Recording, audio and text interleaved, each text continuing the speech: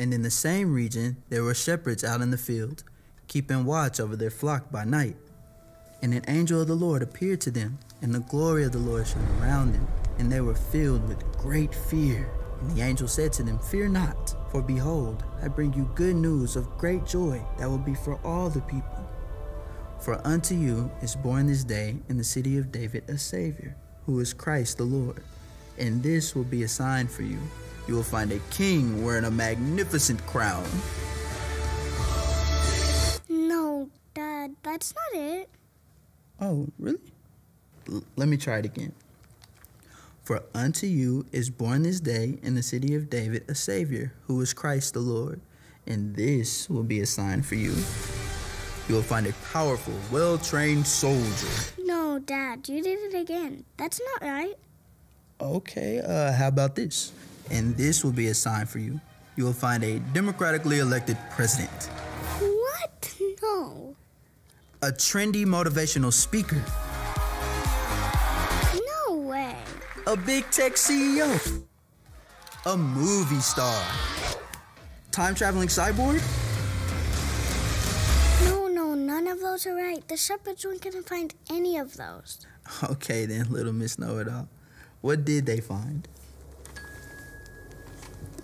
For unto you is born this day in the city of David a Savior, who is Christ the Lord.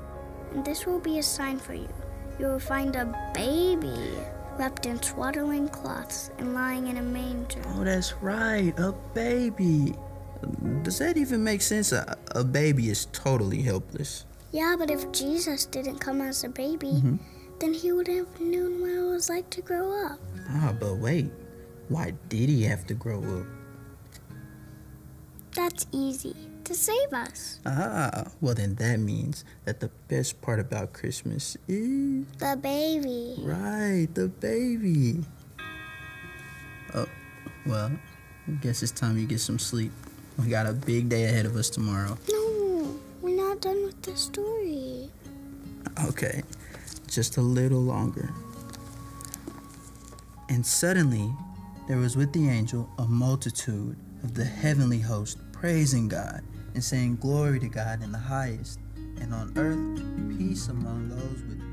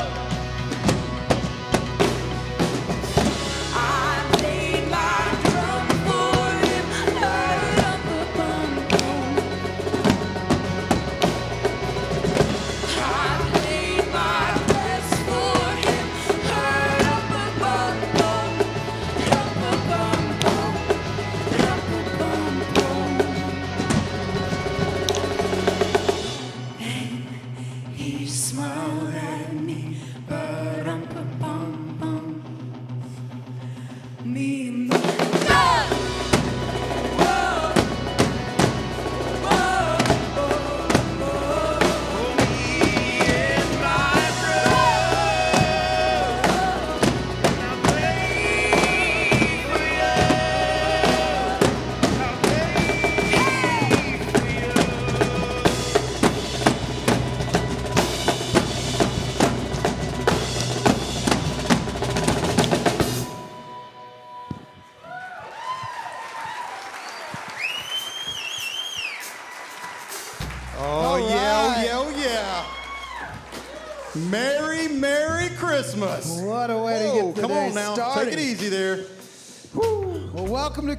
at Grace. I'm so glad to join us here in Paradise. Those join us online today is going to be an incredible time to celebrate I'm, together. I'm glad y'all get to see us. I'm Chris. good. Chris, I'm Pastor Rocky. We're the best looking pastors here, so they put us up on the stage.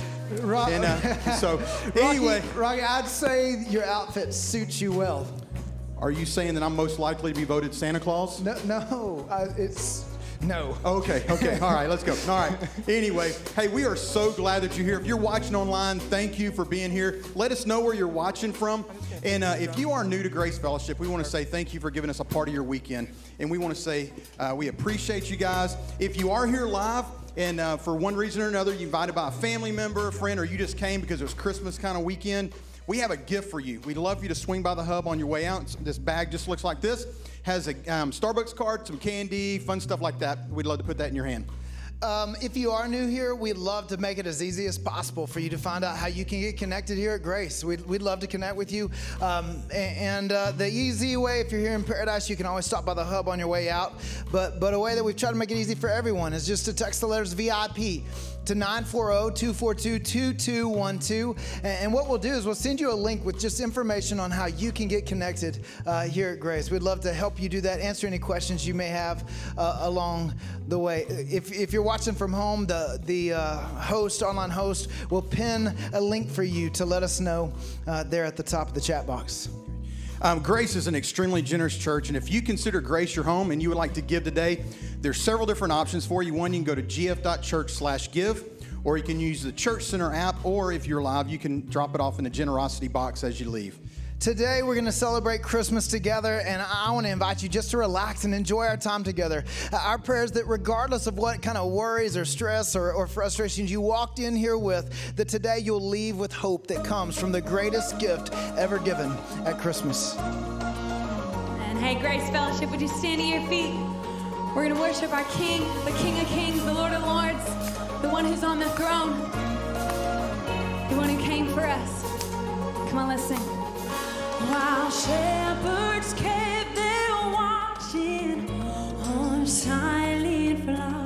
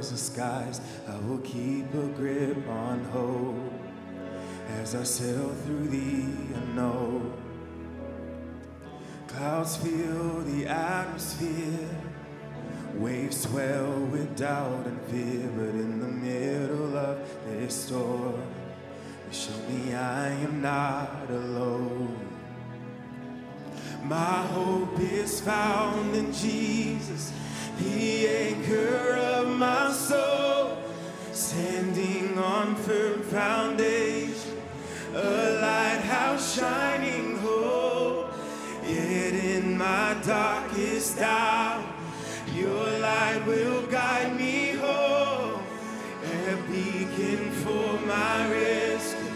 Jesus, the hope for all. Your hope is rising. Darkness is trembling.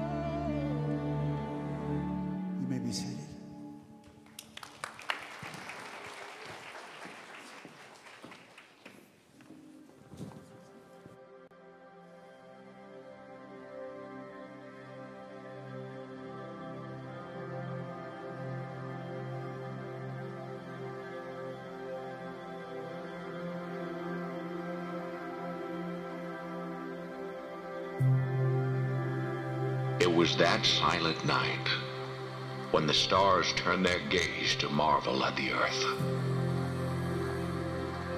When the heavens gathered breathless round a lowly stable. When a young mother wept tears of worship, falling on the baby in her arms. And the song of the earth arose in Bethlehem soft as the tender beating of his heart. And all was calm, all was bright. Yet could this be the same God of Abraham, the conqueror of Israel? This baby, this fragile life? Is this child the one who burned his name in rapture across the gasping skies? Whose voice spoke the oceans into crashing rhythms? Who crafted the mountains into guardians of the firmament? Whose hand ignited the thirst of the deserts and the warring surge of the elemental hosts? Who breathed life from dust? Broke the oppressor's rule, scattered the chains of his people like sand, and led them through the wilderness with a pillar of flame. Is this child the one whose presence billowed thunderous on Sinai's peak, who surrounded Job with the roaring wind, stood defiant in the raging furnace, wrote judgment against tyrants, and blazed on the lips of the prophets, scorching history's pages with the fury of his might.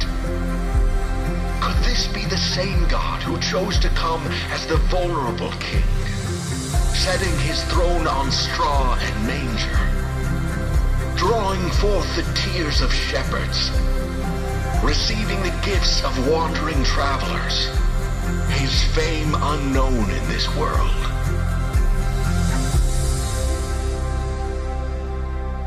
He is Jesus, the one who thunders through the heavens, yet whispers to our hearts, who reigns victorious, yet bows to serve the broken.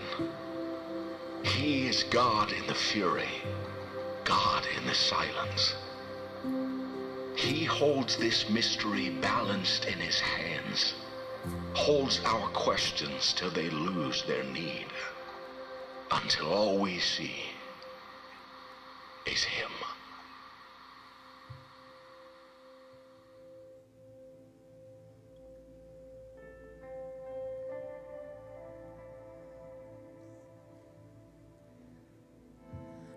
Love incarnate, love divine. Star and angels gave the sign. Bow to babe on bended knee. The Savior of humanity.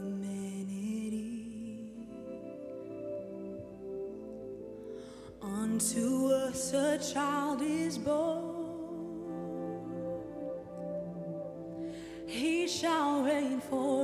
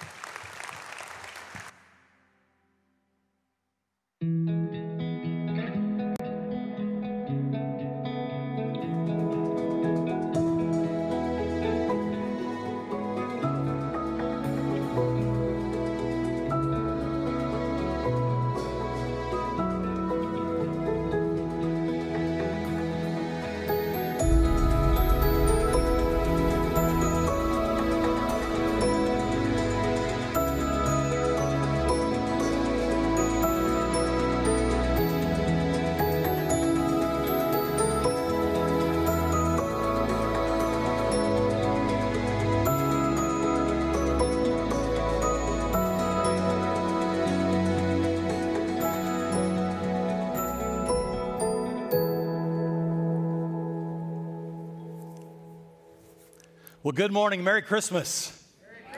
Man, hasn't the music been absolutely incredible today? I mean, wow.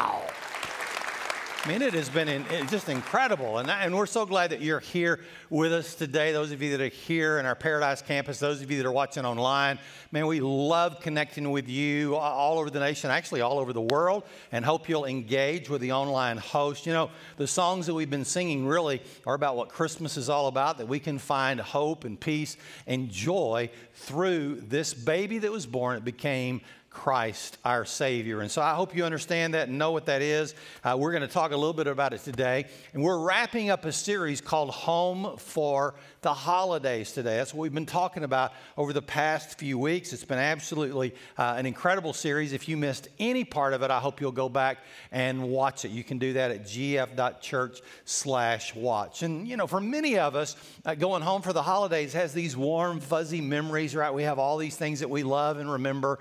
And then for some of us, it's not the most wonderful time of the year. In fact, it can be a very difficult time. And in this series, what we've been talking about is how to have hope and how to have peace and how to have joy at Christmas and beyond. So we're going to continue with that today. And, and as we talk about being home for the holidays, I don't know about in your family, but in mine, one of our favorite things to do is to watch some movies that we get to watch year after year after year. We all have our favorites, right? I mean, I'm sure you do and we do. In fact, I did a social media poll several weeks ago asking about your favorite movies, and you know how accurate social media is. But anyhow, uh, but, but I did this and I got a lot of responses, and you're not really going to be surprised by this, but the number one response of the favorite movies when you go home for the holidays was what? Elf. I mean, who doesn't like watching Elf? I mean, what a great, great movie. What a lot of fun to watch. The second movie was, this surprised me a little bit, Home Alone. I mean, it's an old one, but it's still funny. Uh, Janet and I, my wife and I, we watched it again a couple of weeks ago, and we remembered watching it with our children. And we watched it this time, we thought, oh my goodness, there are things in there probably they shouldn't have seen. You know, that's just the way it is. The third movie was The Grinch, which that's, that's a great movie, and, we showed the other day here at the church, had a lot of fun with that. Number four surprised me. It, it's this, It's a Wonderful Life. How many of you like watching that movie? Anybody enjoy that movie still? Not too many. All right, well, that's okay. Did you know that that movie will be 75 years old next year? And it's still a classic, like by so many people. In fact, we had not watched it fully all the way through in a long time. We did this year and absolutely loved it again. And then, of course, the fifth one, you know, you got to watch Christmas Vacation, right?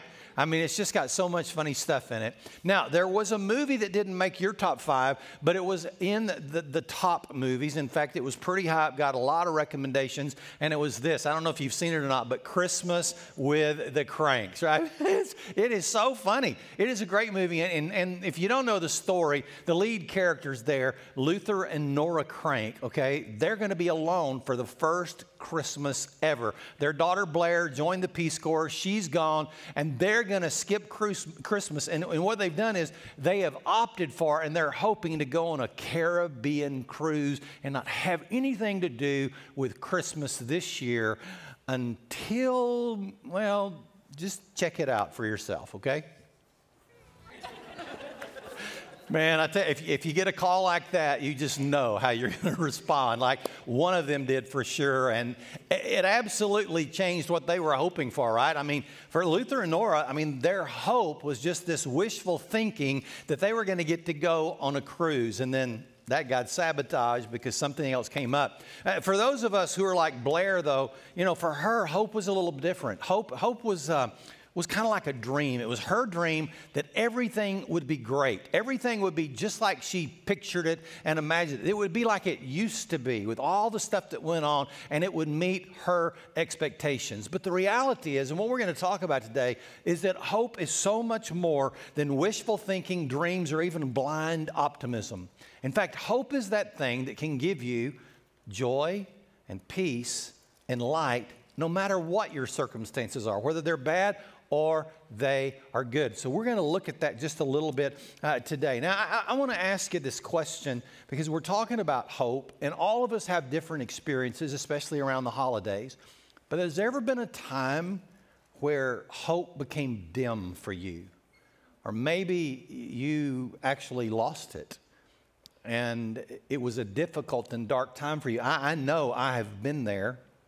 And we're going to talk about that a little bit today and how you get through that, how you overcome it. But when I, when I think about going home for the holidays for me, home for the holidays for me usually was a great time. In fact, uh, my mind, when I think about going home for the holidays to my, my parents and, and, and our home, even with our grandkids and being there, it's usually filled with good memories, even, even the first Christmas after we lost my dad uh, to cancer. Now, now, don't get me, get me wrong. Um, that was one of the most difficult Christmases so far in our family. Uh, it was difficult for me to look at my mom, my mom to look at me, me and my wife to look at each other, our kids. You know, we, we would just, you know, there at their house look at each other and our, our eyes would well up with tears because we were missing something that we had held dear. And we were missing my dad. And that's a normal thing at Christmas. And so that Christmas definitely was, was difficult and there were a lot of tears, but I still had hope during that Christmas that filled me with peace and with joy and with light. And, and going home for the holidays for me was always a fun time. And it was a time filled with hope, especially being around my dad. And, and, none of you knew him, but my dad was a guy, he was a very kind person. He was very generous. He had a, he had a positive spirit that was amazing. And, and he had this great wisdom. I just love sitting down and talking to him. And I mean, I mean, today I wish I could give him a phone call once in a while and just talk to him because he had incredible wisdom that came from years of experiences and many years of following Jesus. And, and again, while we cried many tears and it was a difficult uh, Christmas, I still had hope that filled me with peace and, and joy and light that Christmas. But a few months earlier, that hope was AWOL. A few months earlier, as we were walking through cancer with him before he passed, it, it was difficult. I mean, hope was actually uh, gone from me. It was something that just um, kind of evaporated. And, and, and I know everybody has different opinions about their father. Some of you have had a great relationship with your dad, some of you have not. And so it's different when you talk about dads and family and all that. But for me, my dad was my hero. And we didn't have a real close relationship when I was younger, but as we got older, we became very, very close and could share just about anything. And, as, and I think about my dad and I think about who he was, and, and I look at him. I'm, I'm being very honest with you. If you went back to his hometown and interviewed tons of people that knew him, they'd tell you the same thing. My father was a great man. And he was a great man because he was a man of character and integrity. I mean, that's what people knew him for, for his honesty. And the way he served people, no matter who they were, it was absolutely inspiring. He was just that kind of guy. He was the kind of man that made life better for you, even if you didn't know him. And the reason for that is because he had a genuine love for God and he had a genuine love for people, and he just loved life. I mean, that's the kind of man he was. And so when we found out that he had cancer, man, we did everything we could for him. We took him everywhere we could. We had hundreds and hundreds and hundreds of people praying for him, and we believed that he was going to get better. But he didn't. It got worse. And as you know, he passed away before that Christmas. And for me, that was a time that was one of the darkest times in my life. And when my dad did not get better, the things that began to happen in me, and you know, I, am a pastor and I'm supposed to know all these answers and have hope and all that. But I'm telling you, inside I was angry and I was hurting and I was frustrated and I didn't get it. And I began to have some incredible doubts about the goodness of God that I preached about all the time. And, and, and I began to think things like you would. I mean, we all rationalize when it happens to us, right? I begin to think all kinds of things things. And I was thinking, but, but God, my dad is an incredible man. And I could tell you all kinds of men that don't even measure up to the kind of man he is. I mean, why in the world is this happening to him? I mean, he, he, he's the kind of guy that most people want to be like. I mean, I don't get it. I don't understand where you are in this. He's a man who has this incredible inner strength and he, he's strong not only in, in his inner person, but physically. He's a, he's a strong man. Yet this cancer crushed him. And it was excruciating what he went through. I remember um, I, I got to spend quite a bit of time with him in the last uh, couple of months. I remember going with him to some procedures that he had to have done just to help him have some normal body functions. And as he would have those procedures done, I would hold his hands. He had these, these create, he, he was such a craftsman and so good. And, and he had these leather like hands. And I would grasp his hand and hold it. And he would squeeze as he went through excruciating pain, even with the stuff that they gave him. And I remember I'd have to turn my head away so he could not see my eyes that were filling with tears. Because this man that I loved was suffering so much, and I didn't get it. I, I just, I, I didn't get it and I had to do things for my father, and, and, and, I hope you never go through this, but I had to do things for him during that time uh, that I can't even talk about here. And they were humiliating for him, and it was heartbreaking for me. I mean, literally broke my heart. I, during that time, I tried to be strong for my mom. I, I tried to be strong for my family, you know, because that's what I'm supposed to do. But I'm telling you, inside, I was broken. And I was hurting and hope was AWOL. I mean, it just, I was lacking hope. And I would sneak into a back bedroom in my parents' home uh, away from everybody else and shut the door, and I'd crawl up into a bed. I'd put my, my face in a pillow, and I just begin to scream and cry. And pound the fist, or pound, not the fist, but pound the bed with my fist, and, and, and uh, I just cried to God, God, I don't get it. Why? Why my dad? Why him?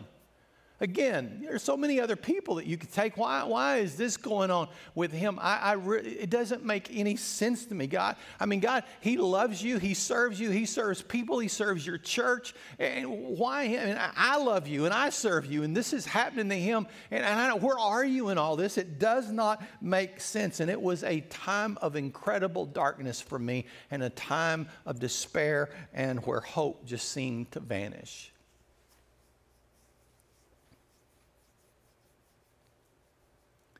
And it was something that I hope that you never have to experience with any of your loved ones, ever. But the truth is, is that all of us at some point in our life are going to go to a time or go through a time whenever we struggle with this whole concept of hope. And we're tempted to give up on it, and where we lose that glimmer, and where it's AWOL and it's missing in our life. In fact, I believe right now that hope is largely missing in our culture today. I mean, as a culture, we're more angry and divided than we've ever been in history. We can't even be civil with one another when we talk or when we say things about different people, maybe that we disagree with. And, and, and for me, I, I think many of us are deeply concerned about the social and the moral and the political landscape of our nation. And the truth is, we could all just use a little hope. Wouldn't you agree? We just need a little hope. And it may surprise you but when Jesus was born, things weren't terribly different.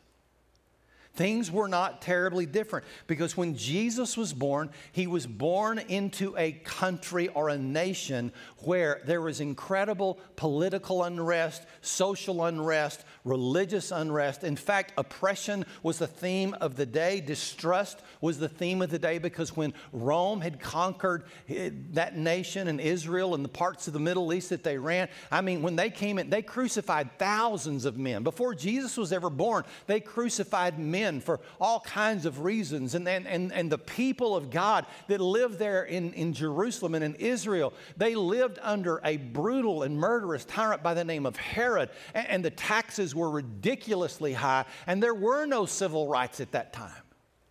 And while we love to think about Christmas as being a time of light, which I love, don't you love the lights? I mean, I have loved the lights and the songs today. I love the decorations. I love driving around looking at Christmas lights. Light's one of my favorite things at Christmas. And while we love to celebrate light at Christmas, the truth of the matter is that on the night that Jesus was born and in the time that he was born, it was not a time of light, but in fact, it was one of the times of greatest darkness ever for the people of God. 700 years before Jesus was born, there was a prophet by the name of Isaiah. And God inspired Isaiah to begin to write down words about the birth of a child. And in Isaiah 9, he starts by saying this Yet in the future, Galilee will be filled with glory. Galilee, where Jesus did his ministry, right? So, yet in the future, Galilee will be filled with glory, and the people who walk in darkness shall, she, shall, shall see, I can speak right in a minute, right? shall see a great light. They're going to see a great light. And then, and then what happens is, is Isaiah went on and he began to, to, to write about this further in chapter 9. If you go read it, he, he writes all these different prophecies about this child that would be born. And it's amazing when you go read them and that they were accomplished and they took place. But there would be a baby that would be born and, he would be called the Prince of Peace, the Savior, the Messiah, Christ the Lord. It was, I mean, it was just absolutely incredible.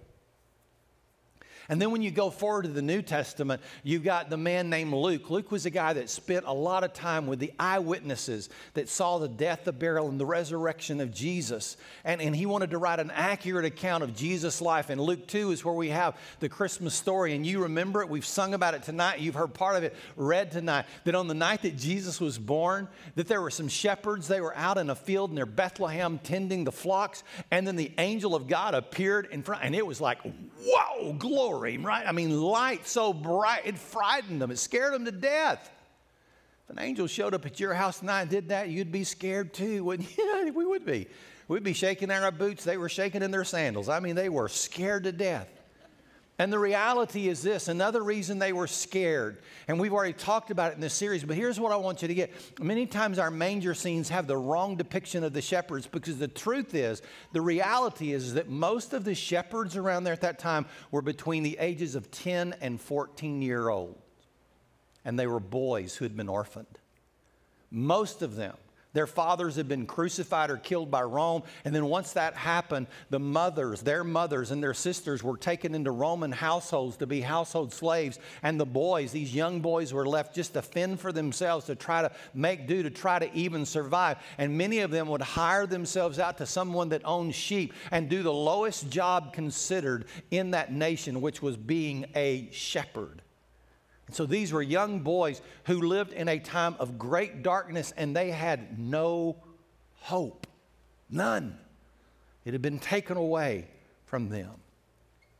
And yet they were the first to hear about the birth of Jesus, the good news about Jesus' birth. And not only did the glory of God, I mean, fill the night with splendor, but the message of the angel filled them with hope. Look what Luke wrote.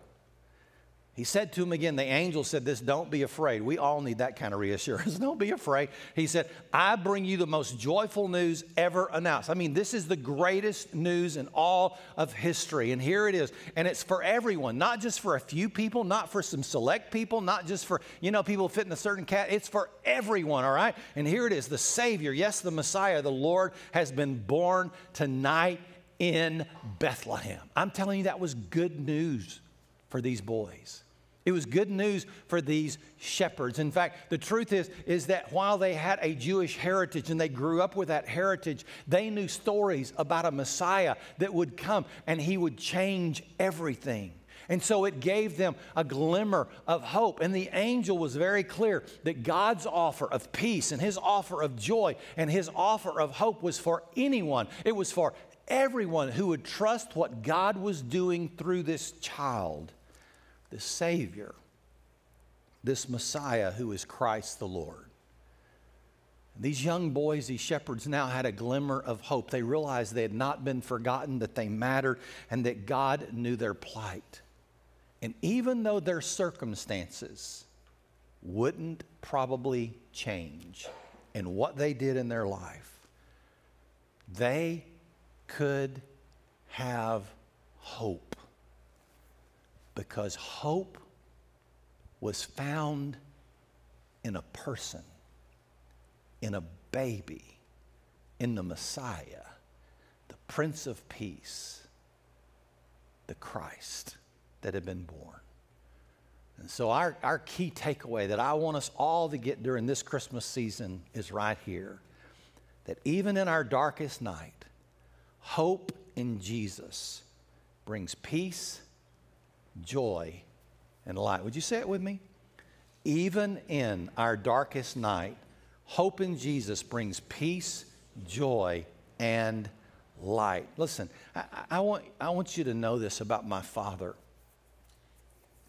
As he knew that he was uh, dying and there was no hope save a miracle of God, um, he had hard times. He had times when he was down and depressed, and mainly that was because he cared about me and my mom and our family and wanted to keep taking care of us. But the reality of his life was simply this he also had hope.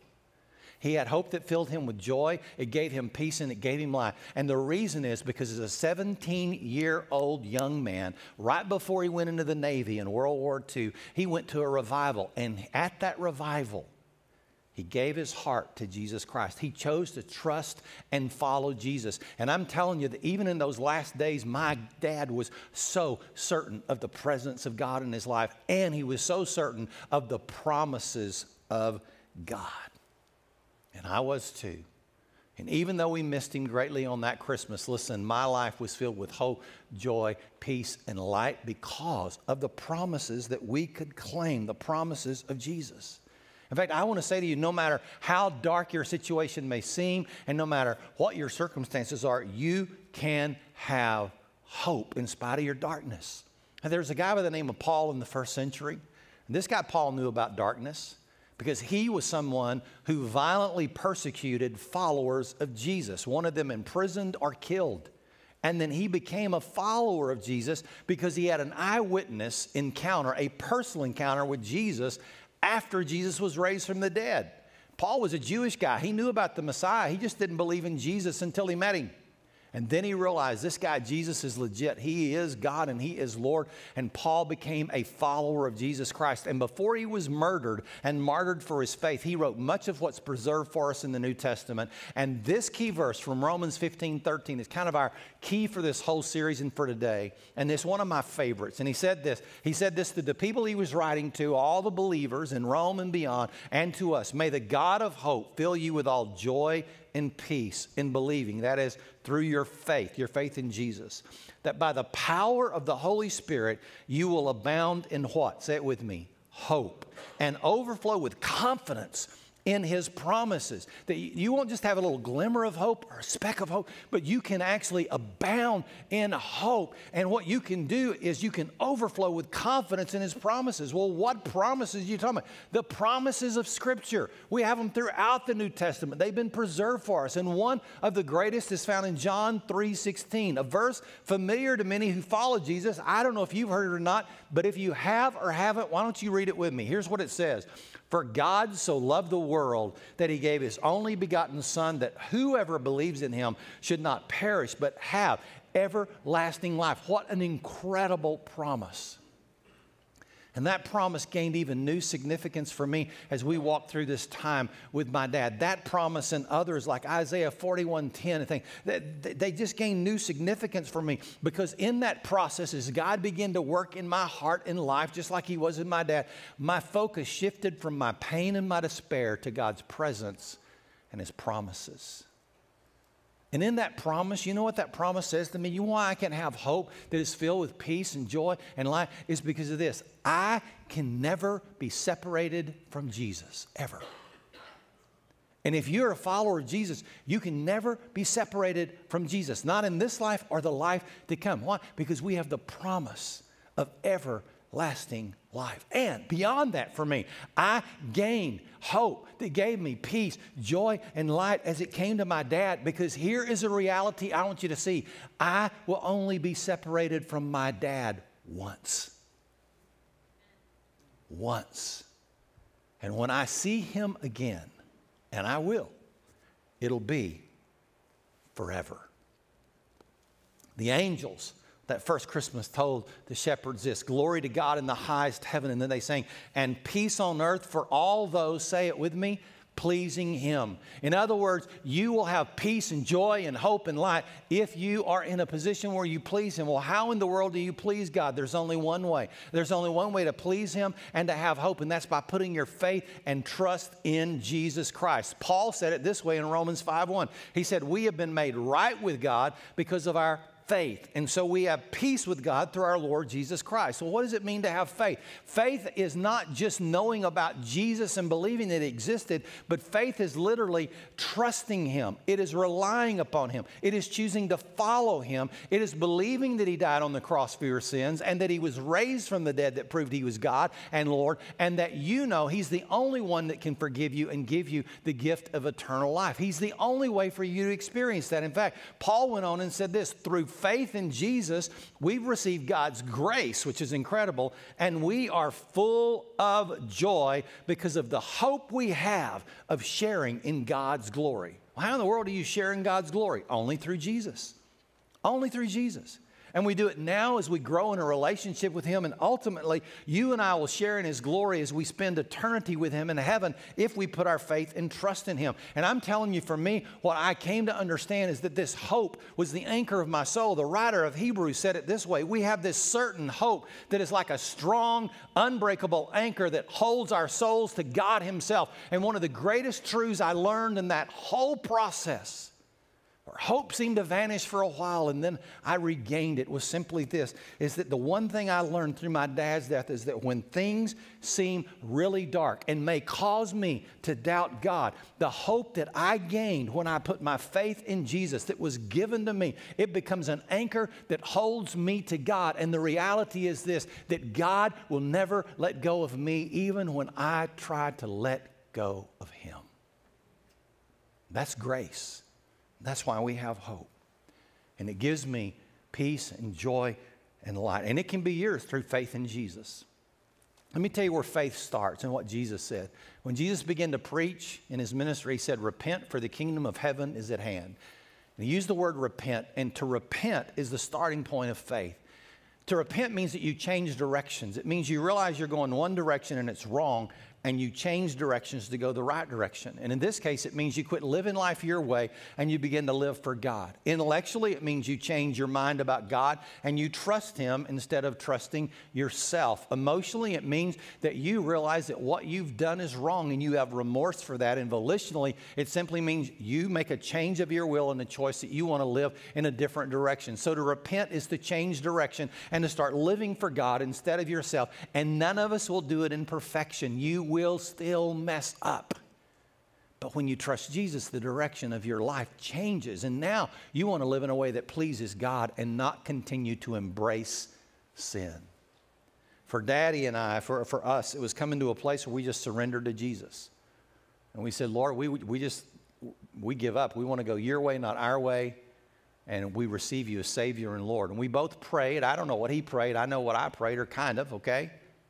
But there's nothing magical in the words that you say when you pray to God. It's just a way to clarify in your heart what you really want to do. And if you want that hope that gives you peace and joy and light, no matter what comes in your life, no matter what happens, the very first step is simply to surrender your life to Jesus Christ and trust Him as Savior and Lord.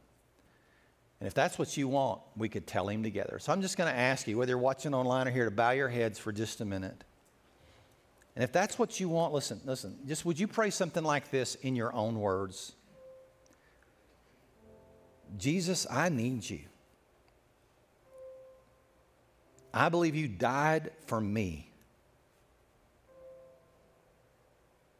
And I believe that you were raised from the dead that proves that you are Lord. Please forgive me of all my sin. I trust you. And I ask you to come into my heart and life, to be my Savior and Lord. Help me now to live in a way that pleases you. In Jesus' name, amen. Let me tell you something. You know, at that first Christmas, it said that the skies were filled with the glory of the angels. You know what's happening in heaven right now for those of you that pray? It, the whole of heaven is filled with glory because it says that whenever one person comes to faith in Jesus, that all of heaven, the angels celebrate. I mean, they're throwing a party and your name is on the cake, and man, that is something worth shouting about. I mean, that is so good, right? And so I'm just, I want to encourage you, man. I'm so excited for you. And I know that some of you that are watching online and some of you here, maybe you're not really sure about all this Jesus stuff. You, have got obstacles or you've got questions or you've been hurt by a church or a pastor or people or, and you're not sure. But listen, would you do this? Would you do yourself and do us a favor? At least ask some questions and let us begin a conversation with you to try to help you work through those problems. Because I'm telling you, there is nothing greater you can do than to trust Jesus as Lord and Savior. If you're a follower of Jesus, I want you to understand this that, that your hope is there and it'll never leave you because God will never let go of you. And here is the reality I want you to take to the bank this Christmas. Even in our darkest night, hope in Jesus brings us peace, joy, and light. Let's pray together. Father, thank you so much for your goodness. Thank you for people who made a decision to trust and follow you today. Pray you'd fill them with hope this Christmas. For those of us that are struggling right now, I pray that we'd realize that, that as we follow you and trust you, that, that you never let go of us and we can have hope no matter how dark things seem, and you can give us peace and joy and light in the midst of it. And I give you praise for that. And I pray that this Christmas, as we celebrate the birth of Jesus, we'd remember that Jesus Christ alone is the source of our hope. We give you praise and thank you in Jesus' name. Amen. God bless you. Have a Merry Christmas.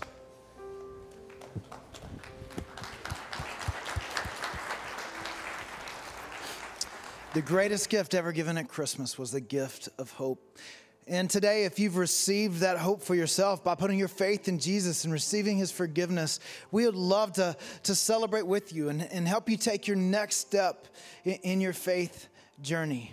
Uh, we we want to try to make that as easy as possible. One of the easiest ways to do that is stop by the hub. If you're in Paradise, stop by the hub afterwards and, and just stop in there and say, Hey, I put my faith in Jesus. We'd love to talk with you about that, pray for you, and help you know what your next step is. A, a way that we try to make it super easy for anyone. If you're not ready to talk face to face with someone yet, uh, if you would just uh, take the card that you were given, you walk in, there's a QR code on there. Now, that QR code will, will take you to a page that has like everything that's going on, that's coming up. It's an easy place for that. But there's also a link in there for you to, to uh, click on that link and just let us know that today I put my faith in Christ. Today I trusted Christ. Or you can let us know, hey, I've got questions. I'd like to talk with the pastor and, and, and fill out that portion of that link. And we would love to get back with you and talk with you about any questions you have and walk with you in that journey. If you're watching online, uh, the host will put a link in the chat box and, and, pin it to the top so that you can let us know and we will follow up with you and help you. Uh, figure out what that next step looks like and, and walk with you in that journey.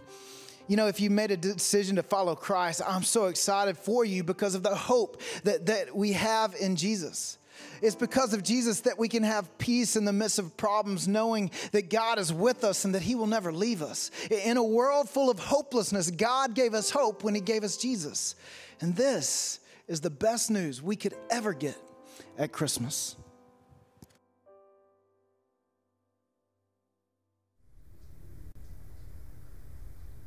My mama told me something when I was growing up that has forever changed my life.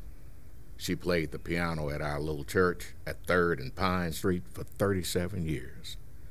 She tried to teach me to play the piano, but I wasn't very good.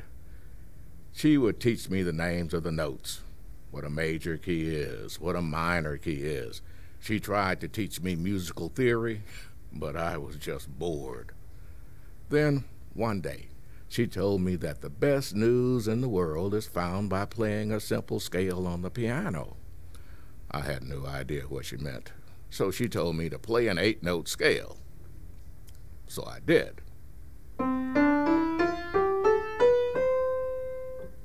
I said, How is that good news? And she said I played it incorrectly and that I needed to play it the other way. So I did.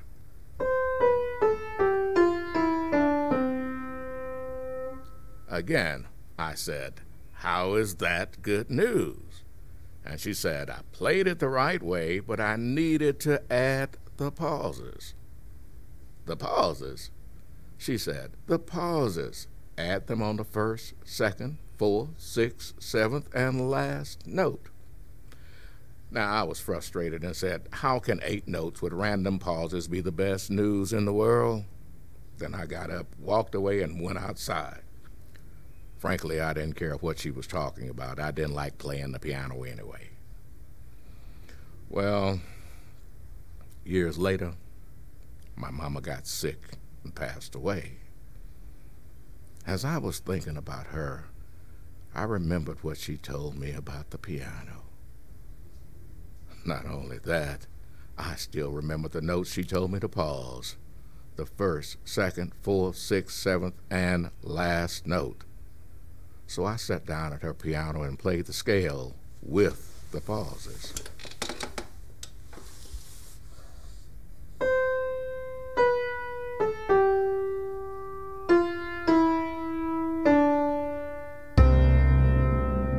And that's when I realized the good news she was talking about.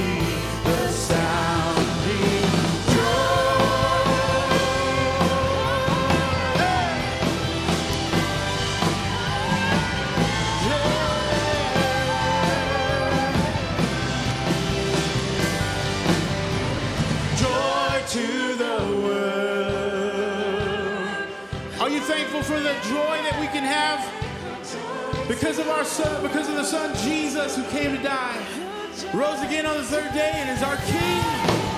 He's our Lord. So we're gonna sing it today. He rules the world with truth and grace, and makes the nations prove. Come on, let's sing it together. Here we go. He rules the world with truth and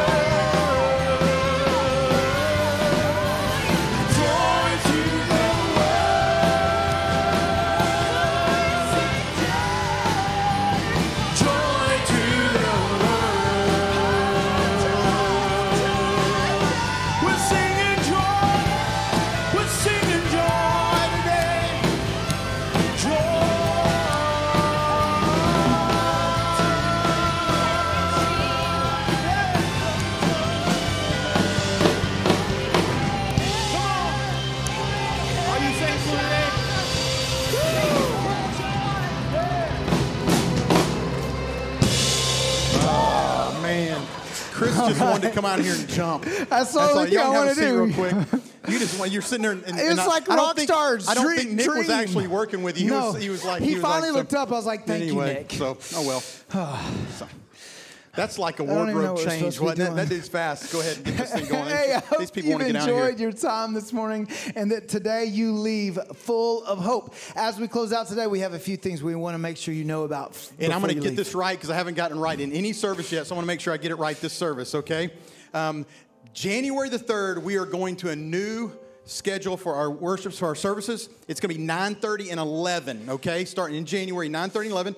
And that's because we have figured out how to get everything cleaned up a lot faster. So we're going to go to 9.30 and 11. So uh, make sure you put that down. If you get here at 9 o'clock, you can still come in, but it won't start till 9.30, okay? Next Sunday, December the 27th, I said February in the last service.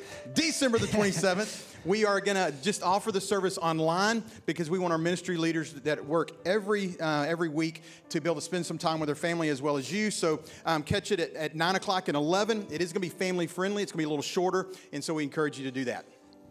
Uh, coming up January 10th, we start a new series uh, called uh, Break the Cycle. And this year, look, it's a new year coming right around the corner. It's a chance to make some new choices, some new decisions that, that will help you from, uh, you know, maybe keep you from feeling stuck in the rut, rut or, or maybe feeling a lot like this.